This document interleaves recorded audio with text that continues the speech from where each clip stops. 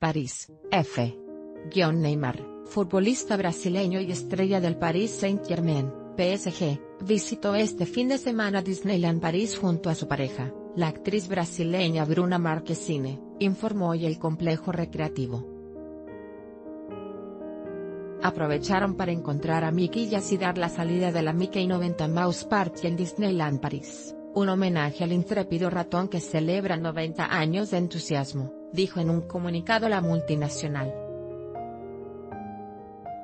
La pareja, una de las más mediáticas en Brasil, paseó por varias zonas del área recreativa, y asistieron el espectáculo mediático culinario La Aventure Totalmente que de Remy.